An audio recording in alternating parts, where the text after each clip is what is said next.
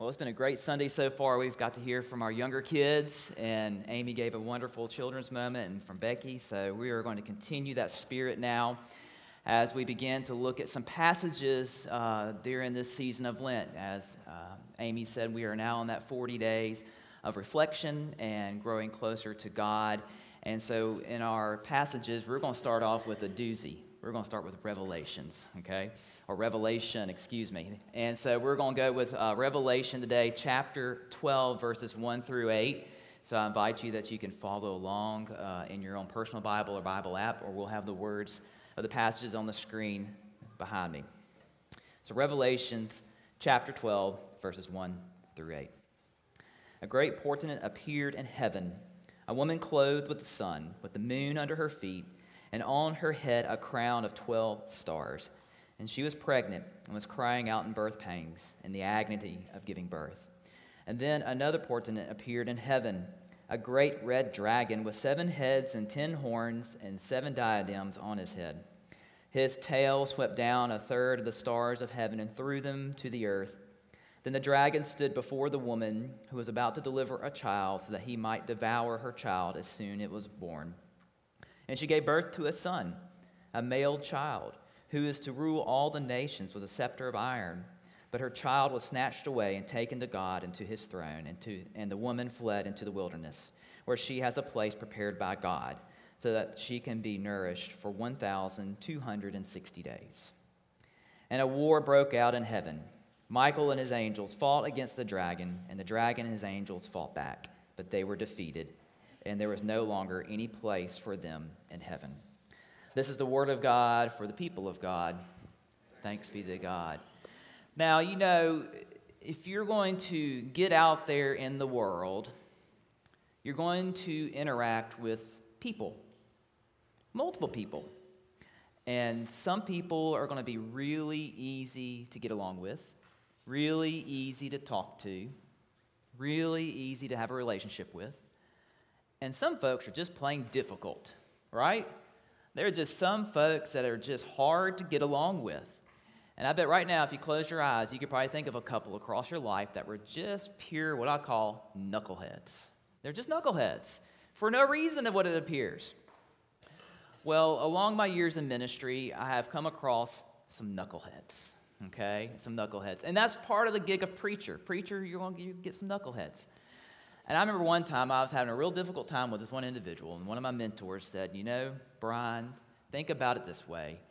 Sometimes it is the devil that you know that is better than the devil that you don't know, right? And so what that means is sometimes you have to deal with difficult people. And sometimes it's better to deal with that difficult person because if you didn't, there may be someone even worse coming along, right? So we all have to deal with that. So sometimes it's better the devil you know than the devil you don't. Well, in Lent, what we're doing here is we're calling our church into a time of reflection, a time of repentance, a realignment to God. But do we really know who our enemy is? Do we really know who the enemy is? I mean, we all hear the enemy is called the devil, right? The devil. But do we really know the devil? Do we know what we're looking out for? Do we know in Scripture what the devil has truly done? I feel like churches, of course, warn their congregations and their people hey, be on the lookout for evil, be on the lookout for the devil. But they really don't talk about what it looks like, what it's done in Scripture. How can you know what to turn away from if you don't know the devil? And so, this season of Lent, our focus, Andy and I have talked about it, we're going to be real intentional. A lot of our sermons are going to be very much the same because this is a, an important topic. But what we're going to focus on at St. Matthew's is the devil in the details. And so we're going to look at passages over Lent that deal with the devil, New Testament, Old Testament. Decided to start out with Revelation. That's the one that's got all the cool imagery and the symbols. And we're going to study it. So these, these passages are going to pretty much be a, a lot of details in it. And you've got little cards. Some of you got these connect cards. You can write these passages down. You can take notes, whatever. Whatever will help you because I think it's important for us to understand who the devil is in order to know what we're turning away from. And so today's passage is a passage that comes from Revelation. It is it's John, you know, here on the island, and he gets presented with this great vision here. And he's telling us about this vision. And in this passage here, in this chap- 12th chapter, we get to the story, of this vision of the woman and the dragon. And I bet as I was reading it, many of you are already thinking, okay, this is who the dragon is, this is who the woman is, this is who the child is. Well, let's, let's look at this particular passage. Let's break it down a little bit, and then we'll jump over to some parts of Scripture. We're going to be looking at multiple passages in Scripture that reference the devil and what that means for us, okay? And so we, we get here in the first verse, it says, A great portent or a sign appeared in heaven. A woman clothed with the sun, with the moon under her feet, and on her head a crown of 12 stars, okay? And so in the Roman Catholic Church, you'll actually see this image a lot in this church, and this will be the image of Mary for them. They'll have an image of a woman clothed with the sun, and they call her the Queen of Heaven. And the Roman Catholic Church will a lot of times attribute this to Mary. But there are other traditions that say, well, this is also a representation of just Israel in general, and the 12 tribes of Israel.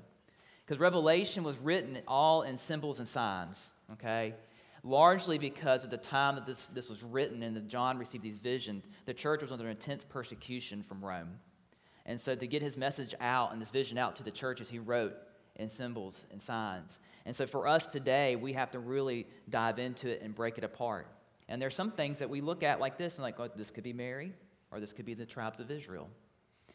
Oh, well, then you get to that point there. The reason why some people say it is Israel because Joseph, when he had a dream in Genesis chapter 37, in the dream, the sun represented Jacob or Israel.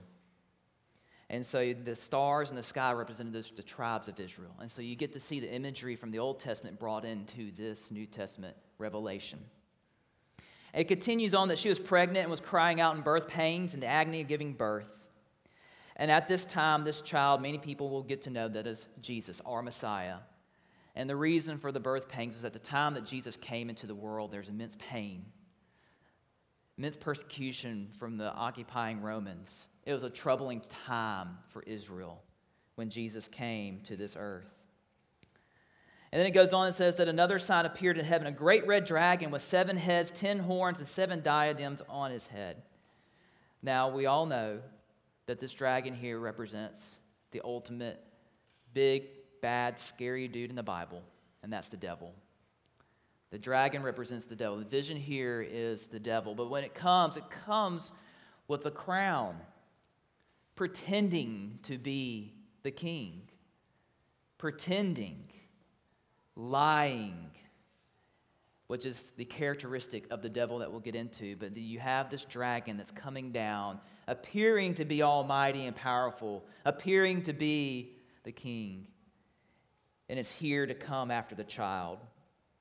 It says that his tail swept down a third of the stars of heaven and threw them to the earth. And the dragon stood before the woman who was about to deliver a child so that he might de- devour her child as soon as it was born.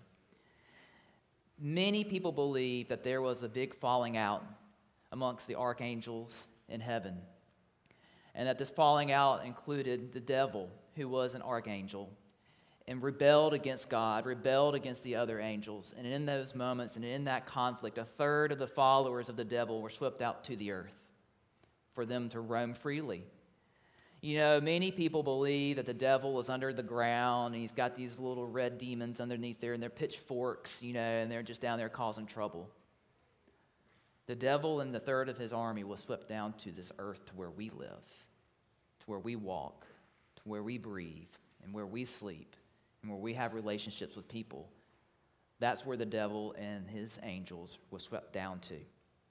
And so this reference here comes from that. That's where they believe that in that time there was a conflict up in the heavens where the devil and his followers were pushed down to the earth. And then it said, at that time, when she gave birth to the son, a male child who was to rule all the nations with a scepter, but her child was snatched away and taken to God and to his throne. And then, of course, this is Jesus.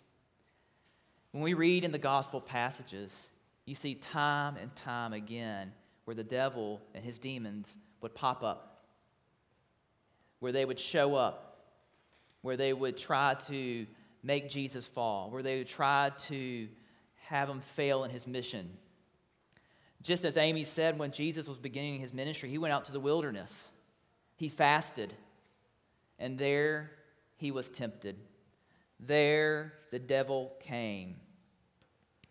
And so, what you have here is that the devil will come, of course, or will send his angels or his demons at the time of weakness.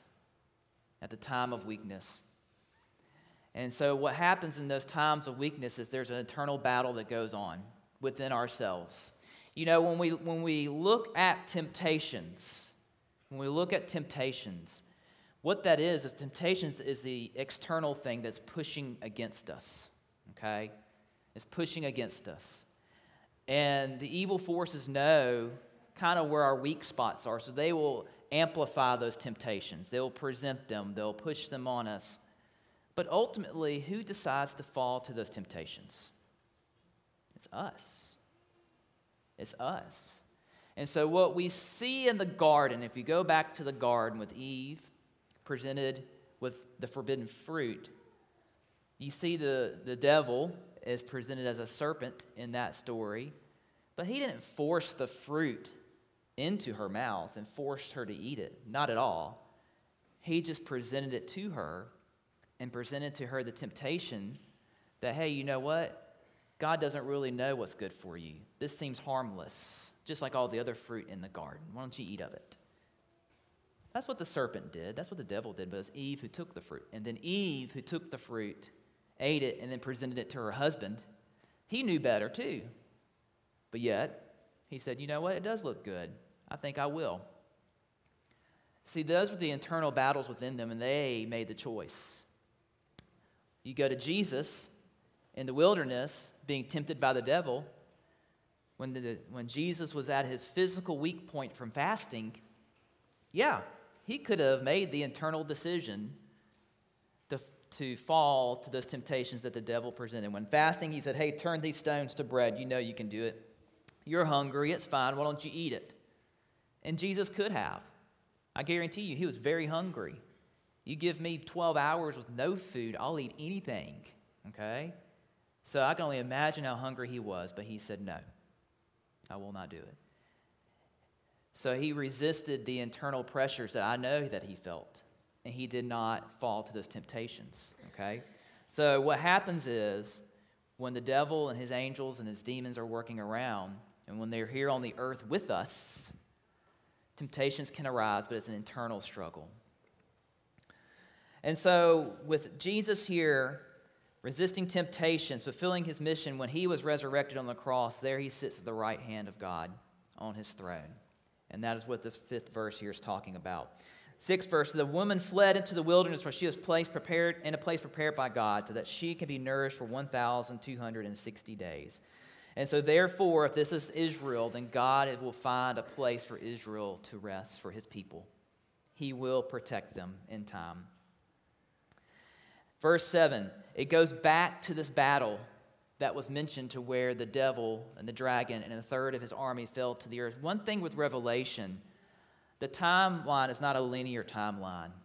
It goes back and forth and bounces around a little bit, which makes it kind of hard to study because our minds like to say, hey, chronologically, how did this happen? But this is not how it happened. So it goes back to this war breaking out in heaven where the archangel Michael and his angels fought against the dragon. The dragon and his angels fought back, but they were defeated, and there was no longer any place for them in heaven. So this goes back to this major battle that was in heaven between the devil and his followers and, Arch- and Michael the archangel and his followers. And then at that point, which is hard for us to kind of grasp, but when you go back in scriptures, you can see that there's been moments where the devil was able to go and talk to God. But after this battle here, he was no longer allowed back into heaven. He was cast permanently down and out, and no longer there was a place for him to go. And so here you get a very vivid story, a very uh, symbolic story of the, of the battles in heaven, how the devil and his angels were cast down, the story of God and Israel and sending the child to save us and protecting the child and protecting Israel. There's a lot going on here, but this is the perfect passage to start with. It's kind of almost starting with the big image here and then breaking it out. And so the devil, what does the Bible say in other places about this creature? This creature. Well, you can write this passage down. In 1 Peter chapter 5 verse 8, it predict, predicts him or depicts him as a lion or a fake lion. It says, "Discipline yourselves and keep alert. Like a roaring lion, your adversary the devil prowls around looking for someone to devour." Like a lion. But you know who else is the lion? That the scripture says is the lion? That is Jesus. So the devil is walking around pretending to be almighty and all powerful when we know that Jesus is the almighty and the all powerful. Second Corinthians, Second Corinthians chapter 11 verse 14 it says, "And no wonder even Satan disguises himself as an angel of light." There again, another facade disguising himself as the angel of light, but he is not.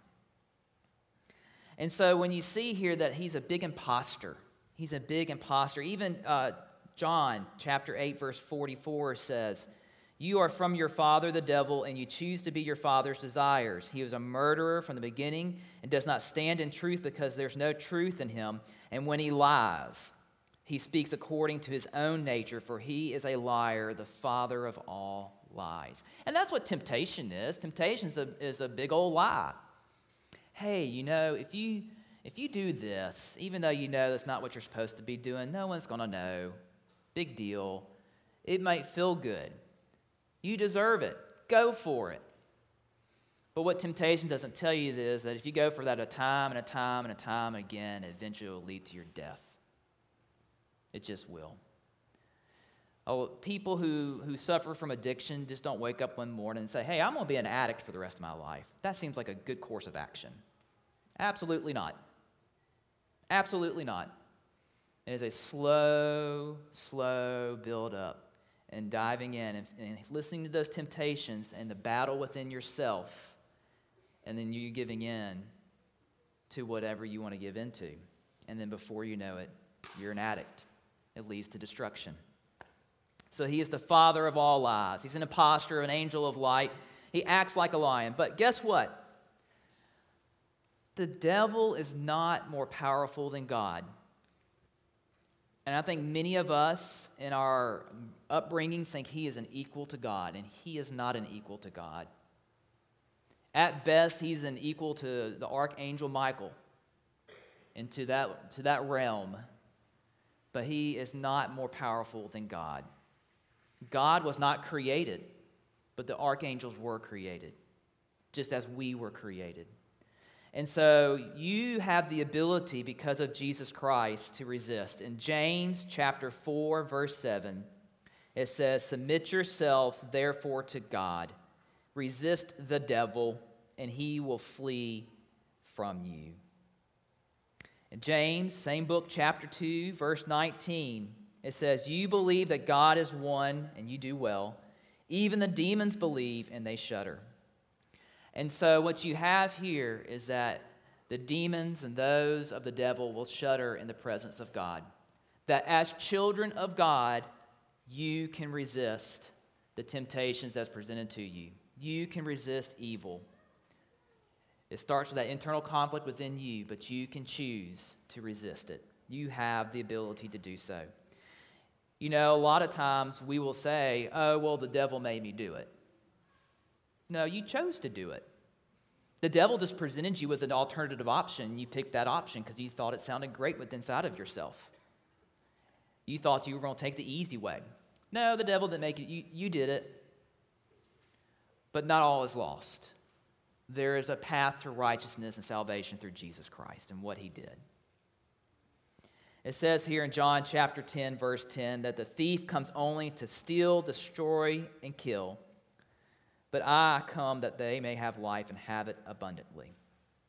That our life is not found in what the devil is promising us, our life is found in Jesus Christ. That is where we find our hope. You know, God is everywhere, God knows us. But you know what? The devil is not God. The devil is not necessarily, the devil more than likely is messing with the, the big name Christians, more than likely. We get, we get the B team messing with us. We get those demonic angels and demons messing with us. But Jesus had the devil messing with him. I bet, I bet Billy Graham had the devil mess with him. Me? He probably sent his B team, C team angel to mess with me. Okay? So the devil is not everywhere. He is not God. He is not all knowing, and you can resist him. He is not God's equal. And so, what we need to look at as we go through Lent, like I said, there is so much more we're going to dive into this series of devil the details. But I want us today to kind of understand who is the devil? Do we really know who the devil is? We have the ability to resist. Lent is the perfect season for us to pinpoint those temptations in our life and where his forces are trying to work against us and feel the ability to say, No, no, you are not going to do this to me. I can resist. My God is stronger than you, and my God has saved me through Jesus Christ. So, not all is lost. You don't have to say the devil made me do it because you don't have to. You don't have to do whatever you're facing. You can resist. Jesus won the battle. And so, what I want us to do is, is to focus on the areas of our own life, on us, focus on us, and see where we can resist the devil and his forces this season. Where can we give thanks to God for Jesus Christ? Where can we give thanks in our life for having a God that loves us so? So may we journey in Lent focusing on those areas and turning towards God. Let us pray.